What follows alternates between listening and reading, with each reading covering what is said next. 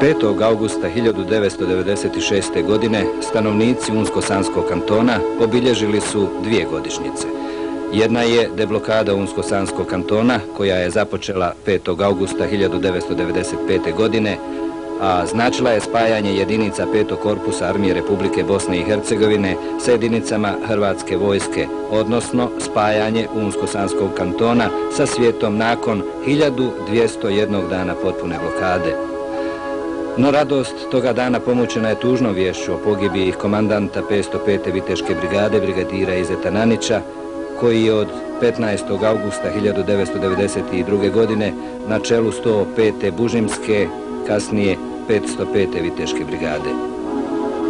Rahmetli Nanić rođen je 4. oktobra 1965. godine u Bužimu.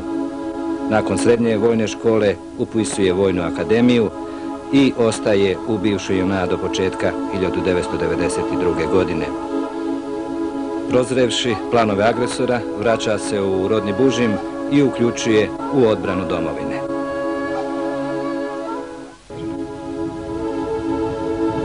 Ova zemunca ovdje ovo mjesto, ovaj panj u kojem ja sjedim, to je mjesto gdje je zadnju naredbu izdao Rahmetli komandant 505. Viteške brigade, brigade Vizitanića.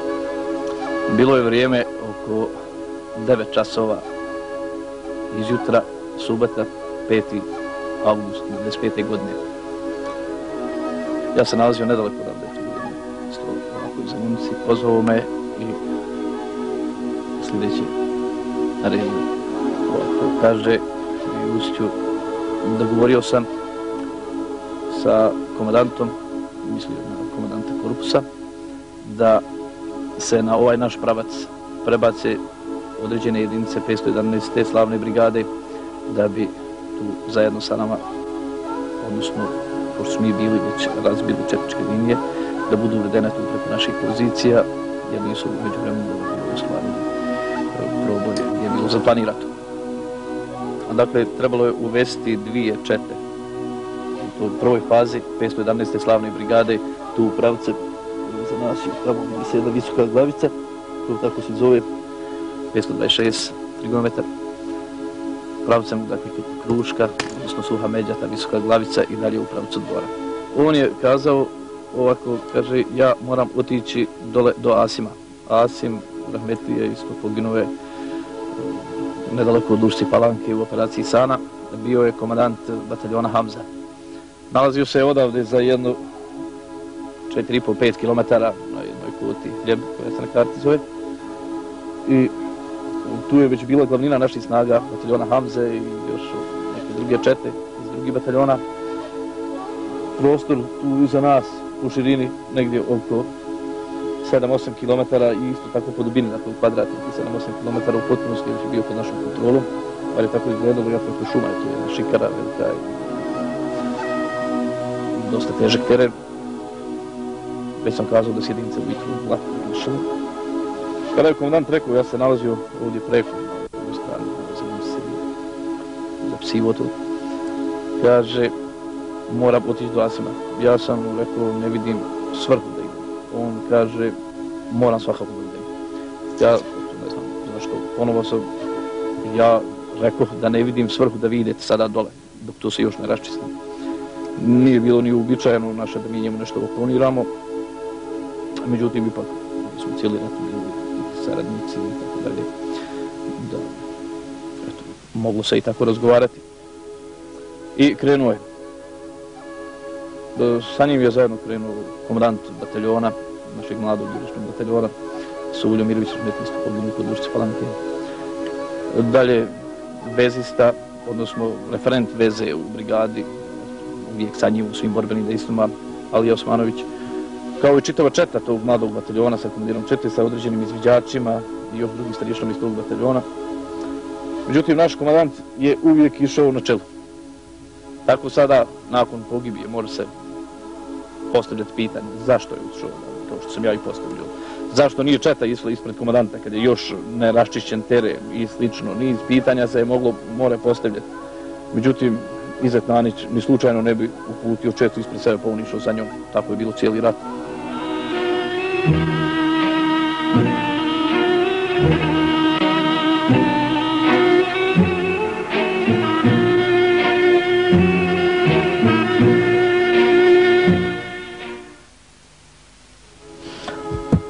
Nakon nekih desetak minuta, 15, iznijeli su ga. Tu sam prišao na putu. Vidio sam da je mrtav.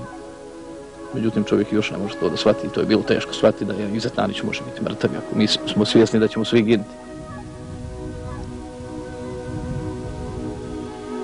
Kad se sjetim Banjana i prije te akcije Munje 93, kad je sam komadant išao za leđa četnicima u izviđanje i kad se odlučio na tu akciju, mislim, to je tad bilo nepojmljivo udariti s leđa, uvući jedinice 5, 6 pa i 10 km u dubinu četničke teritorije, a dobro znamo da smo imali pola ljudstva je išlo sa naoružanjem, a pa pola bez naoružanja i u takav rizik se upustiti, to je mogo samo Nanić.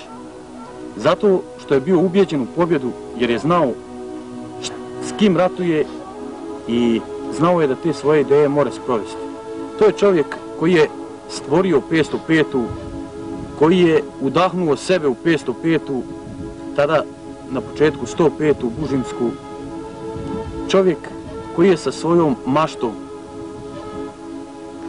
idejama, stvarno zadivio sve Bužimljane i, i šire i ljude iz kantona i iz države. Bio je veliki ratnik, ali još veći čovjek. Sve u Gužimu što su ovi oficiri, starješine, naučili u ovom ratu, naučili su od Rahmetli, komadanta.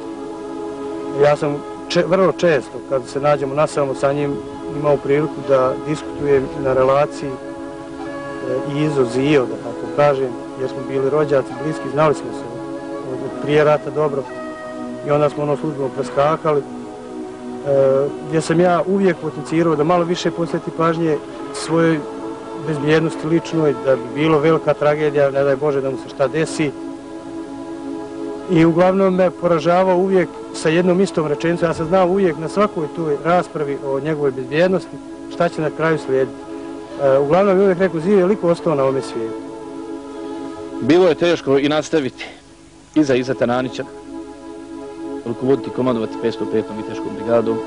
Međutim, zahvaljujući svim stariješima, svim borcima, 505. brigada i u operaciji Sana u okviru ostali jedinice i u sadejstvu sa drugim jedinicama prema eh, petom korpusa u zapovijesti naravno, na planu i dalje komande komandanta uradila na visini svog renomea doprla i do Sanskog mosta Kamengrada, starog Majdana, stare rijeke. Mjesto na kojem smo bili malo prije je mjesto gdje je Izor Meti provodio časove i časove, kako mi to kažemo, sravnjavajući kartu sa terenom. I to baš tamo ova brda prema Sanskom mostu, tamo Grmeč, pa onda dalje istočno, sve koja se čuka vidi, kao da je predosjećao da će tu 505 baš nastupati. Desilo se da smo na tom pravcu nastupali. Njegove zamisli, želje, a njegove su želje bile slobodne, i cijelovita Bosna i Hercegovina. Zaista, ostvarili smo koliko smo u datom trenutku mogli. To je čovjek bio koji imao rješenje koji nikada nije stajao.